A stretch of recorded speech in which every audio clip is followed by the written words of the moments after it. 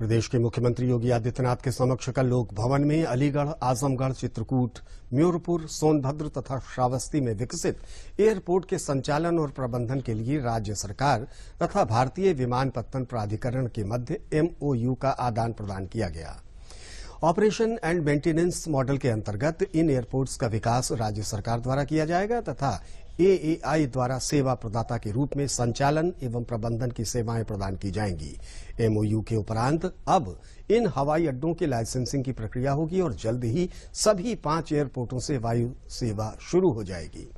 मुख्यमंत्री ने कहा कि आज एक महत्वपूर्ण एमओयू निष्पादन का कार्य संपन्न हुआ है। बेहतर वायु सेवा की प्रधानमंत्री नरेंद्र मोदी की संकल्पना को साकार करने में प्रदेश अपना सर्वश्रेष्ठ योगदान कर रहा है। सत्रह के पहले दिल्ली के लिए एक वायु सेवा थी। और वह भी सर्दियों में तो खैर बंद हो ही जाती थी, लेकिन सामान्य दिनों में भी उसका चलना बहुत कठिन होता था। आज गोरखपुर से चौदह वायु सेवा है। और मैं कभी कभी एयरपोर्ट पे पूछता हूँ लोगों से सेवाएँ भी अच्छी हैं और जितने भी विमान कहीं से भी आते हैं, सभी भर करके आते हैं और भर करके जाते भी हैं। कोई सीट खाली नहीं होती। उसने गोरखपुर के विकास को एक नई गति दी। प्रयागराज कुंभ के समय एक सब यानी एयरपोर्ट अथॉरिटी ने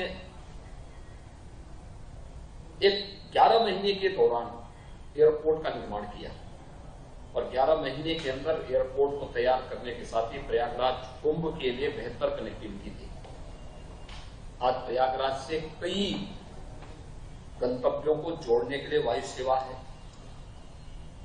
ऐसे ही आगरा से, कानपुर से, बरेली से, हिंडन से ये सुविधाएँ हम पहले ही दे चुके हैं।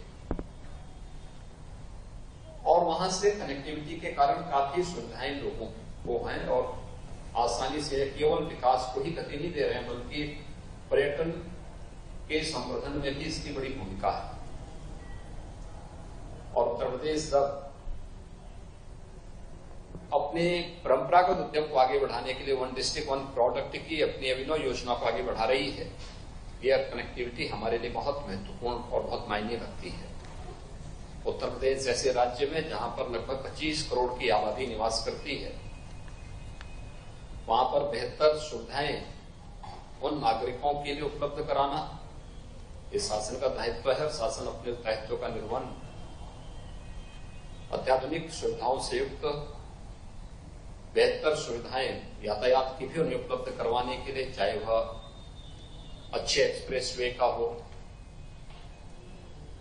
रेलवे के माध्यम से अच्छी कनेक्टिविटी प्रदान करने का हो या एयर कनेक्टिविटी का, यह भी हम इसके माध्यम से करने में सफल हैं। आज जिन क्षेत्रों में वायु सेवा प्रारंभ करने के एमओयू पर आज हम ये प्रारंभ कर रहे हैं, जिसमें पाँच एयरपोर्ट एयरपोर्ट अथॉरिटी को समर्पित किए जा रहे हैं। यह था राज्य के द्वारा ऑपरेशन एंड मेंटेनेंस मॉडल का एक हिस्सा है और दोनों की सहमति से इसे आगे बढ़ाने का कार्य भी किया गया है। ये जो पाँचों एयरपोर्ट है, पाँचों की अपनी महत्व है। अलीगढ़ हार्डवेयर के लिए दुनिया के अंदर विख्यात है। और डिफेंस कॉरिडोर का द्वादनीय प्रधानमंत्री जी की महत्वाकांक्षी परियोजना है उत्तर प्रदेश के संदर्भ में, उसका एक महत्वपूर्ण नोड भी हम अलीगढ़ में स्थापित कर रहे हैं।